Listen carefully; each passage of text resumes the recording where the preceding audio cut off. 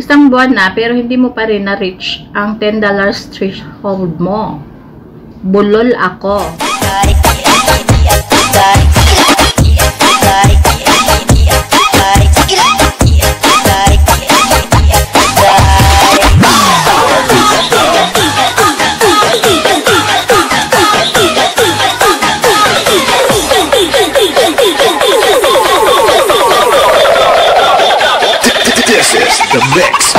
DJ Joker. Hi guys, welcome and welcome, welcome and welcome, and welcome and welcome back to my channel. Parang tanga lang, no? Oo, ganun talaga, parang tanga talaga. Kailangan parang tanga para mabayaran tayo nito ni Lolo. Kumain. Kumain ng chichirya, gago. Buang lang. Parang tanga, no? Para naman talaga tayong tanga dito sa harap ng kamera no nagsasalita mag-isa. Parang tanga la, lagi araw-araw para kumita ng pera. Ang hirap pala kumita talaga. Pandemic kasi kung nagtrabaho lang sana ako ngayon, hindi ako parang tanga ditong nabubuang-buang na eh. So ayun, marami kasi ako nababasa no na hirap na hirap talaga ma-reach ang $10 $10 $10 $10 $10 threshold. Atay, oy. Kapoy mag Tagalog. So, para sa mga nahihirapan na ma-reach ang $10 threshold, kasi yun ang nababasa ko lagi mga mga post, eh, pag nakita ko pa yung mga post nila, pwede kong ilagay dito. Pero kung hindi ko na makita, wala na, hindi ko na nakita. Pero totoo kasi maraming nagpo-post, pinopost nila yung sa YouTube studio na ito lang yung kinikita nila, isang buwan na monetize, gito ganyan. Madali lang naman kasi ang $10, oy. Mag-upload kayo ba? Kasi hindi man nagtitrending ang mga videos natin. Mag-upload kayo. Kung kinakailangan mag-upload kayo ng tag 3 minutes, 5 minutes, 8 minutes pataas, Huwag naman syadong 1 hour ha, kasi wala naman manonood na ganun kahabang video. Bihirang-bihira yung mangyayari. So, sa kada upload mo, may mga ads kasi yan. So, kada view nila, kahit skip pa nila yan, kikita at kikita yan. Hindi man isang bagsakang $10 sa isang video, at least, dahil ang dami ng upload mo, ang dami nilang nakiklik na ipanoorin dyan, may views pa rin naman yung kahit papano, paunti-unti. Napaka-imposible na na hindi mo ma-reach ang $10 sa loob ng isang buwan. Kung araw-araw kang mag-a-upload, kahit hindi trending yung videos na ina-upload mo, o kaya every other day, marireach at marireach mo yan within a month. O kaya samahan mo na rin minsan ng live stream kasi minsan may mga napapadaan sa live stream na may magagandang puso at kalooban at kaluluwa na nagpapa super sticker. So yung super sticker, pag may na super sticker sa'yo dyan na $5, siguro meron sa'yo dyan $2. O, at least. So doon pa lang $2 na. So pag nag-live ka na nag-live at merong nadaan, napadaan bigla sa live mo, kahit hindi mo yan siya kakilala, meron kasi mga ganun nangyayari, pwede yung magpa super chat sa'yo, super sticker sa'yo, dagdag pa rin yun sa revenue mo para ma-reach mo yung $10. Tapos, minsan kasi ang mga tao hindi masyado interesado sa mga buhay-buhay natin, no? Dahil, hindi naman tayo si Ivana Alawi or sino pa mga sikat dyan So, wag ka masyado magbablog ng about sa nangyari sa buhay mo.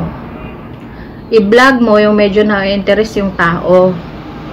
I-vlog mo yung medyo trending ngayon. Kunyari, Stolfo, tumakbo-takbo ng senador, habulin mo. habulin mo kasi tumakbo eh. Yung mga ano, mga wag naman i-upload yung mga video nila kasi bis nakikita ka, na-demonetize pa yung channel mo. Oh. Sa kagustuhan mo mabilis kumita at mabilis dumami ang threshold mo or revenue mo, Lalo na uwi sa wala. So, yun, dahan-dahan lang, dahan-dahan lang, parang i-enjoy mo na lang kasi kahit ako, ginagawa ko, ini-enjoy ko na lang yung pagbablog kahit minsan medyo nakaka-stress, medyo nakakapagod, parang kung tutusin, salita ka lang naman dyan. O kaya kung tutusin, nagala ka lang naman dyan, nag-video video, ganon. Hindi ganon yung kadali. Kasi, ano naman mangyayari sa video mo kung hindi ka marunong mag-support sa iba. So, nagsusupport-support din ako sa iba, no? So, manonood ako sa video nila. Kakapuyat din kaya yun, ba? Tama? Kasi, syempre, kung mag-expect ka ng support, dapat marunong ka rin mag-support sa iba. Yun yun. At doon mo marireach paunti-unti yung hinahanap mong 10 dollars sa iyong threshold or revenue para ipadala na ni AdSense ang PIN mo.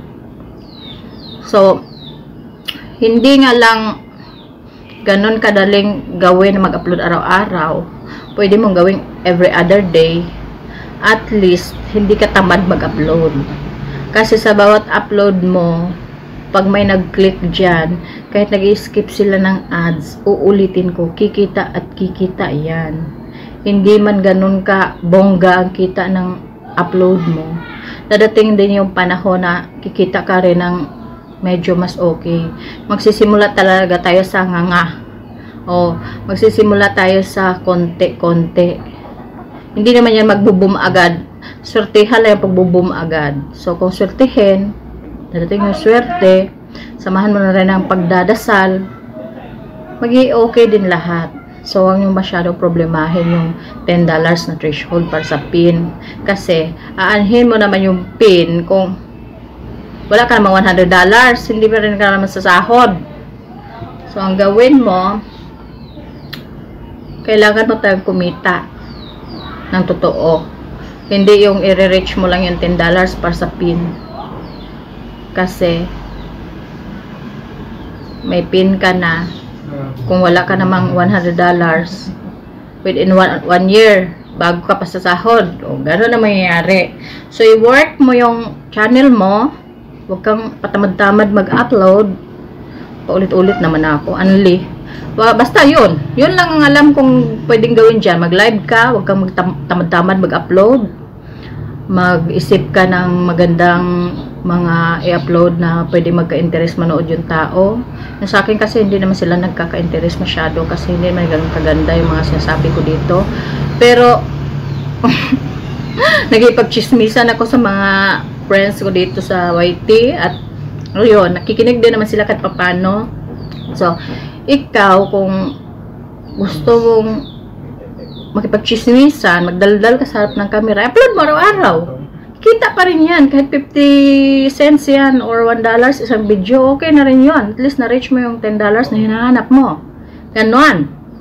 So, medyo tigilan ko na to kasi yung manok, simula na naman siya ha.